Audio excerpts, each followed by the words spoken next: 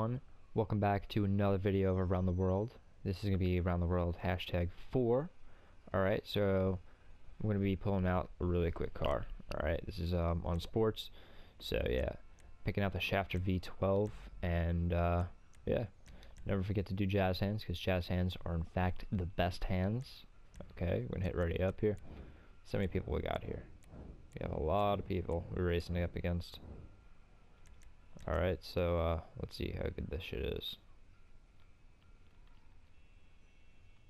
Close up. Just waiting for everyone to ready up, which, you know, they take the sweet ass time with. All the time. Remember, jazz hands is in fact the best hands, guys, so always stick with jazz hands. Alright. Let's get this shit started, shall we? And no one's using the proper car. Make it better for myself.